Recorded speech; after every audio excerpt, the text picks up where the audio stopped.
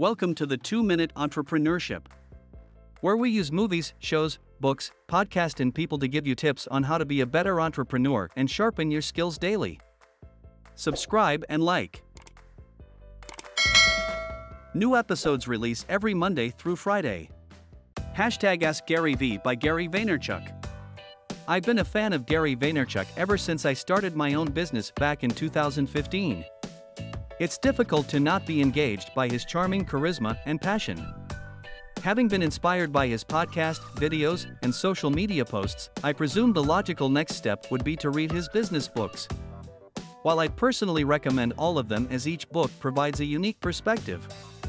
Hashtag Ask Gary Vee covers all the essential aspects of Gary Vee's business philosophy.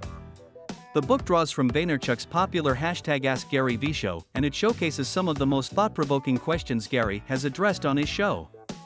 You'll find Gary's unique perspective on different business topics, from startups to social media platforms. Only the Paranoid Survive by Andrew S. Grove. Andrew Grove was one of the founders of Intel and a key player who helped transform the company into the world's largest manufacturer of semiconductors. In Only a Paranoid Survive, Grove shares his business philosophy and strategy that helped him steer Intel through a series of potential major disasters. He introduces the concept of strategic inflection points, SIPs, the moments in any business when massive change occurs. In the book, Grove recounts how he successfully guided Intel through several strategic inflection points to make it one of the most admired companies in the world.